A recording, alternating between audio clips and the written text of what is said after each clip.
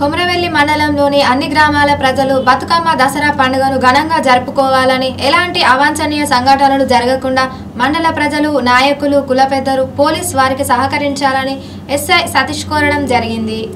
ఈ సందర్భంగా ఎస్ఐ సతీష్ మాట్లాడుతూ మండలంలోని అన్ని గ్రామాల్లో తొమ్మిది రోజులు బతుకమ్మను మహిళలు ఘనంగా జరుపుకుంటున్నారు. వారికి రాత్రి సమయాన చెరువుల వద్ద ఎలాంటి ప్రమాదం తలెత్తకుండా అవాంఛనీయ సంఘటనలు జరగకుండా పోలీసులు వారికి తగిన ఏర్పాట్లు చేయడం జరిగిందని ఎవరైనా అందుబాటులో పోలీసు వారు లేనట్టయితే వంద నెంబర్కి ఫోన్ చేయాలని వారు తెలిపారు. అలాగే విజయదశమి సందర్భంగా మండలంలోని అన్ని గ్రామాలలో దుర్గామాత విగ్రహాలు ఏర్పాటు చేస్తారు కాబట్టి అట్టి గ్రామాల మండప ఆర్గనైజర్లు విధిగా వారి గ్రామము వారి పేర్లు గ్రామ పోలీస్ అధికారికి తెలిపి పోలీస్ స్టేషన్లో అనుమతి పొందాలని నిమజ్జనం సమయాన ఎలాంటి డీజే సౌండ్ సిస్టంలను వాడకూడదని నిమజ్జన సమయంలో ఎలాంటి అపశృతులు తలెత్తకుండా గ్రామ ప్రజలు నాయకులు అన్ని మతాల పెద్దలు పోలీసులు వారికి సహకరించాలని ప్రశాంత వాతావరణంలో మండల ప్రజలు బతుకమ్మ దసరా పండుగను సంతోషంగా జరుపుకోవాలని ఎస్ఐ సతీష్ తెలిపారు.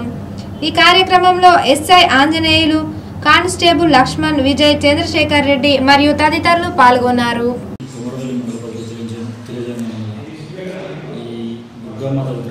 ఈ పూజలు నిర్వహిస్తారు కాబట్టి తొమ్మిది నవరా ఈ తొమ్మిది రోజులు నవరాత్రులు చేస్తారు కాబట్టి ఏదైతే విగ్రహాలు పెడుతున్నారో ఆ విగ్రహాల ఆర్గనైజర్స్ మాతో రాష్ట్రంలో ఉండి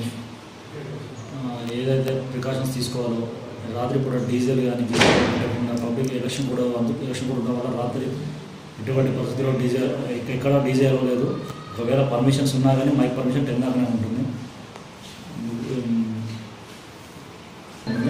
ఏదన్నా ఉంటే పీస్ఫుల్ ప్రశాంతమైన వాతావరణంలో చేసుకోవాలి తప్ప ఎటువంటి శాంతి భద్రతలు విఘాతం విఘాతం కలిగించే విధంగా ప్రవర్తించకూడదు